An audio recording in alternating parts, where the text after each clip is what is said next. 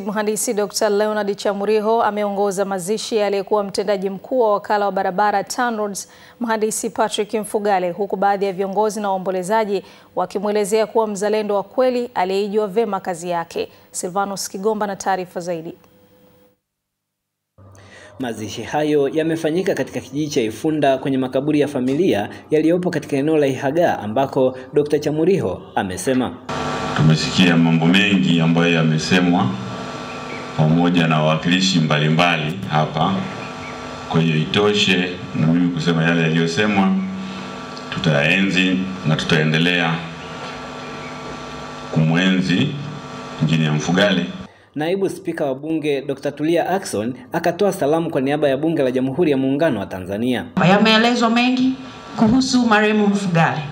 Basi katika yale mengi aliyoyafanya tujifunze kwake kwa mazuri yaliyotendwa hapo. Na katika miaka sita hiyo, miaka miwili ilikuwa ni afisa wa kawaida, lakini miaka minne iliyofuata aliniamini na akaniteua kwenye nafasi za kiuongozi, na pale nilikuwa mmoja wa wasaidizi wa mkurugenzi wa masuala ya procurement, na nilifanya kazi yangu hiyo kwa muda wote wa miaka minne mpaka nilipata uteuzi.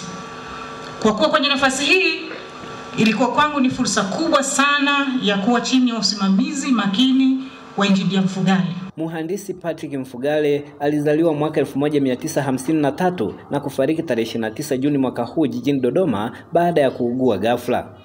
Mhandisi Mfugale ameacha mjane na watoto wanne. Bwana alitoa, Bwana ametoa, jina lake lihimidiwe. Kutoka